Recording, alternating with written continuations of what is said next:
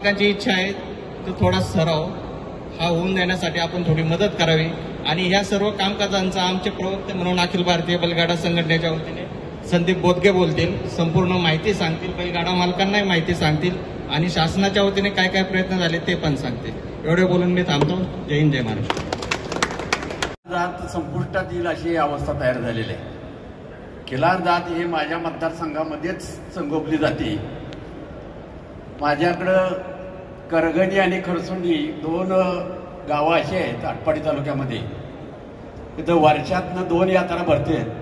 आणि महाराष्ट्रामधलेच नव्हे तर कर्नाटक महाराष्ट्र तामिळनाडू आणि आंध्र या चार राज्यातले लोक खरेदी करायला येत आहेत. मी उदाहरण म्हणून सांगेन की माझ्या मतदारसंघात दोन तालुक्यात ते आटपाडी तालुक्यातलं मी सांगितलं आणि खानापूर तालुक्यात विटा येथे आठवडा बाजार सोमवारी भरायचा. जनावराचा महाराष्ट्रामध्ये सगळ्यात मोठा आठवडा बाजार ती भरत होता. आज तिथं एकही जनावर विकायला येत नाही अशी अवस्था आहे. फक्त आल्या तर म्हैशी येत विकायला येते अशी अवस्था आहे. मला वाटतं या सगळ्यांचं तुम्ही ऐकलंय. आता तीन भाग यामध्ये आहेत. की एक कायदेशीर लढा कसा करायचा त्या दृष्टीनं एक बघणं. दुसरा भाग असा आहे की सूचीमध्ये जर बदल करून आपल्याला त्यामध्ये काय मार्ग काढता येतो काय हे बघणं.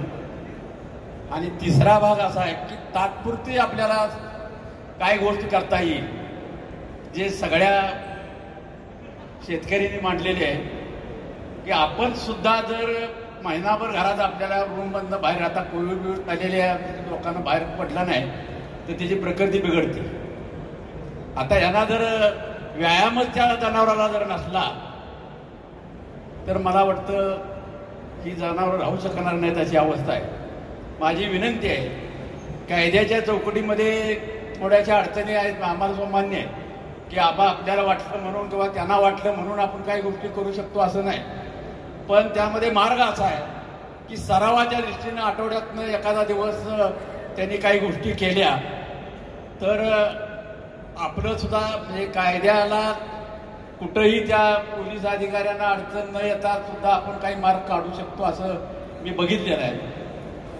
उद्देश असा त्या सुप्रीम कोर्टामध्ये निर्णयाचा आहे की जनावरांचा कुठल्याही प्रकारे हाल होऊ नये हा त्यामागचा उद्देश आहे. तर सरावाला मला वाटतं शर्तीला वेळा स्पर्धा तयार होती आणि आव्हानात्मक काही गोष्टी होतात तर त्यांना जे वाटतं ते घडू शकतं. पण सरावामध्ये या गोष्टी घडत नाहीत. उलट सराव करायचा असला तर त्या जनावराला जास्तीत जास्त कसं खाद्य घालता येईल खुराक कसा करता येईल आणि ते सराव झाल्यानंतर सुद्धा पुन्हा त्याचं संगोपन कसं व्यवस्थित करता येईल हे बघण्याची प्रवृत्ती या सगळ्या शेतकऱ्यांची आहे. कदाचित असं वाटण्याची शक्यता आहे. केदार साहेब की शेतकरी बघायचा आपला दृष्टिकोन ठरलेला आहे. आता हे सगळे जीन पॅन्टमध्ये बघितल्यावर असं वाटण्याची शक्यता आहे पण ते खरेच शेतकरी आहेत आणि माझी विनंती आहे की उलट आपण देशालाच नव्हे जगाला सुद्धा दाखवून ठेवू की आधुनिक पद्धतीनं याचं संगोपन होऊन त्या दृष्टीनं काम करायचा प्रयत्न करतायत. या दृष्टीनं मला मी धन्यवाद केदार साहेबांना आणि बंटी पाटील साहेबांना देईन की खरं बघायला त्यांना सुद्धा त्यातली आवड असल्याशिवाय ती काय येणार नाहीत आणि मिटिंग बोलवणार नाहीत. सुरुवात चांगली झाली आहे. माझी विनंती एवढीच आहे की कालावधी ठरवावा.